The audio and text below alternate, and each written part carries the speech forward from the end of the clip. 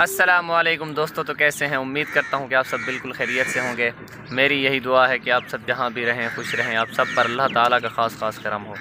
आप सब की दुआ अल्लाह के फजल करम से मैं भी बिल्कुल ठीक हूँ। तो करते हैं आज की वीडियो का आगाज़। वीडियो शुरू करने से पहले आप सबसे एक छोटी सी गुजारिश है कि जिन दोस्तों ने अभी तक मेरे चैनल को सब्सक्राइब नहीं किया तो प्लीज़ वो मेरे चैनल को सब्सक्राइब कर दें और साथ ही घंटी के निशान को भी बजा दें, ताकि मेरी हर आने वाली नई वीडियो आप सब तक पहुँचती रहे। तो पिछले हफ़्ते जब मैं आया था मदरसे से वापस तो उस दिन शुएब भाई की जो ये छोटी सी दुकान है उस दिन तो ये खाली थी। आज मैं जब घर आया तो पहले पहले मैंने देखी कि इनकी आज माशाल्लाह से दुकान भर गई है वो। अल्हम्दुलिल्लाह। तो इनसे पूछते हैं हाँ भाई इसमें कितना सामान आया? आपने कितने पैसे इस पर लगाए हैं? छोटी सी दुकान है तकरीबन होगा पाँच छः हज़ार का सामान और तो नहीं है ज़्यादा। इतने है ना? कितना ही होगा। ज़्यादा तो नहीं है। तो मैं आपको इनकी ये दुकान भी दिखाता हूँ। रश देखें आप बच्चों का। ये 24 घंटे यहाँ पर बैठे रहते हैं। इनको और कोई काम ही नहीं है। चाहे जेब में पैसे हैं नहीं हैं इन्होंने चीज़ लेनी है। कहते हैं आज उधार में दे दो कल आपको दे देंगे पैसे। आज उधार में दे दो कल आपको हम पैसे। अबू आ जाएँगे शाम को मैं आपको पैसे दे दूँगा। तो शुएब भाई से पूछते हैं कि रोज़ाना का यहाँ पर कितना मतलब कि सेल हो जाती है यहाँ पर? अस्सलाम वालेकुम जी फरहान भाई बहुत बहुत शुक्रिया। आप एक अच्छे बच्चे हो नेक बच्चे हो। आप आपका मेरी दुकान पर आना ये भी मेरे लिए अच्छी बात है माशाल्लाह कारी कुरान हो आप।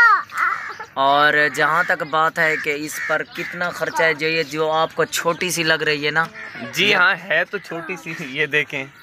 आ, फरहान भाई जो मेन मसला है ना वो है महँगाई। जी हाँ महँगाई तो फरहान भाई ये जो आपको थोड़ा सा सामान नज़र आ रहा है और जितने व्यूअर्स हैं जितना ये सामान देख रहे हैं आप तो ये थोड़ा सा सामान महँगाई के दौर में यकीन कीजिए ये है बीस इक्कीस हज़ार रुपये का।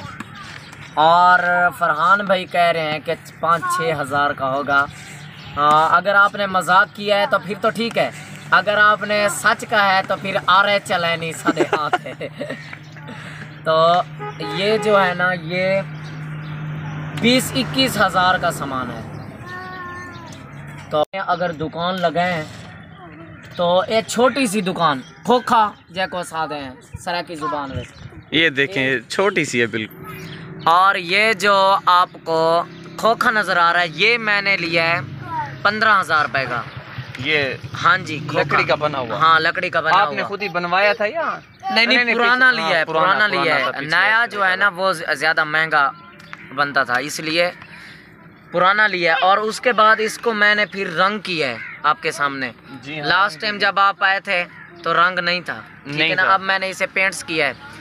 तो उस पर जो लागत है ये वो भी हज़ार बारह सौ रुपये की आ गई है।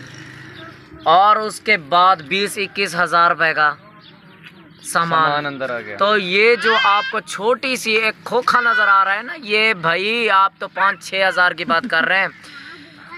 तो इस पर लागत है चालीस से पैंतालीस हज़ार रुपये की। चालीस से पैंतालीस हज़ार? जी। बड़ी दुकान पर शुएब भाई तकरीबन एक लाख का सामान आता नहीं नहीं नहीं नहीं ये गलत बात है। अच्छा। मैं मैं मैं भी यही सोचता था कि बड़ी जो दुकानें होती है ना वहाँ पे एक लाख डेढ़ लाख का सामान होता है ऐसी बात नहीं होती। वहाँ चार चार पाँच पाँच छः लाख का सामान होता है। ठीक है? क्योंकि अब मैंने लगा लिया है, इसलिए मुझे एक्सपीरियंस हो गया है।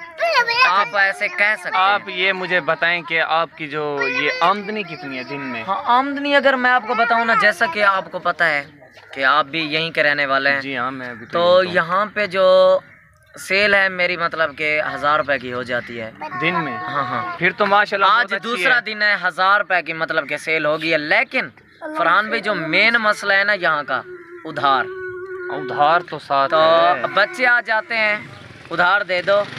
बस अम आ, बाबा कह रहे हैं अम्मी कह रही है उधार दे दो ये चीज़ दे दो तो बाद में दे देंगे। तो यहाँ पे विलेज में मेरे ख्याल में उधार तो चलता रहेगा अब हैंडल करना पड़ेगा। हाँ। लेकिन अगर मेरे पास सामान होता ना एक लाख डेढ़ लाख का फिर अगर मैं उधार देता तो मुझे प्रॉब्लम ना होती। मेरे पास सामान है सिर्फ़ इक्कीस हज़ार रुपये का। अब इसमें से अगर मैं उधार चलाऊं तो फिर और कहाँ से बढ़ाऊँगा कैसे? तो ये प्रॉब्लम चल रही है। नहीं नहीं अल्लाह पाक आपको मज़ीद तरक्की दे। आमीन। दुआ फरमाया करें। जी हाँ हमारी दुआ तो आपके साथ ही है।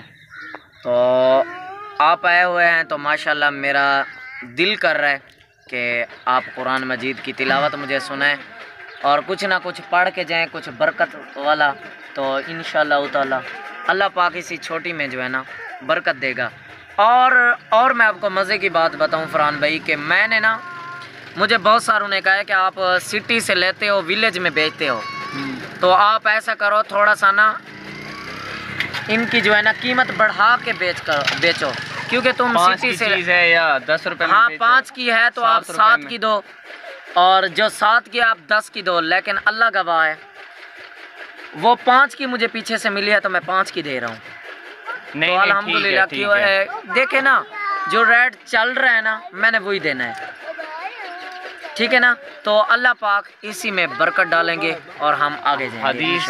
हदीस शरीफ में है ना इतना मुनाफा लें कि जितना आटे में नमक होता है। हाँ। इतना मतलब आप देख लें बस।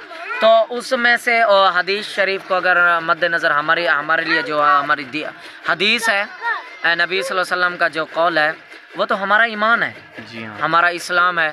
तो अल्हम्दुलिल्लाह उसी पर अमल कर रहा हूँ और इन करता रहूँगा।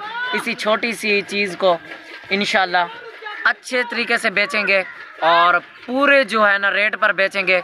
इन ताला उसी में से जो मुनाफा है मतलब के। जी हाँ। तो इन वही बच जाए हमें काफ़ी है। अल्हम्दुलिल्लाह। बस आप दुआ फरमाया करें। जी हाँ जी। और अगर मेरे देखने वाले जो मेरी वीडियो देखते हैं मेरे चैनल पर अगर आप देख रहे हैं तो भाई के चैनल को सब्सक्राइब ज़रूर कीजिए क्योंकि भाई एक स्टूडेंट है और माशाल्लाह से आप स्टूडेंट होने के बावजूद अपनी फैमिली को सपोर्ट कर रहे हैं तो प्लीज़ इसके चैनल को सब्सक्राइब ज़रूर कर दें। Thank you very much. तो मिलते हैं एक नई वीडियो के साथ। मुझे रखना दो में यार तब तक के लिए अल्लाह हाफिज़।